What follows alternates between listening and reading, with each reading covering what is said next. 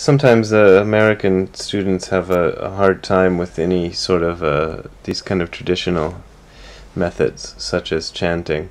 Seems like there are two directions. Either they want to have no chanting at all and Mm, no mm. traditional method at all, Mm. or there's the opposite uh, version, which wants to study only the traditional method and and uh, be very very uh, precise mm-hmm.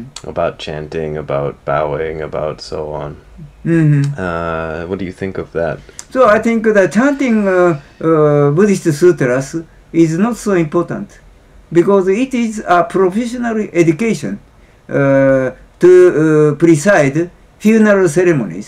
So such funeral ceremonies are not the ma- main uh, factor of uh, Buddhism. Therefore, I do not uh, revere such uh, chanting sutras so much. Uh, and I think the uh, Soto sect has become a professional organization to preside funeral ceremony. Therefore, the, uh, in such situations, I think it is necessary for us to have some uh, organization which are very diligent to practice Zazen and to study uh, Buddhist uh, philosophical system. Mm.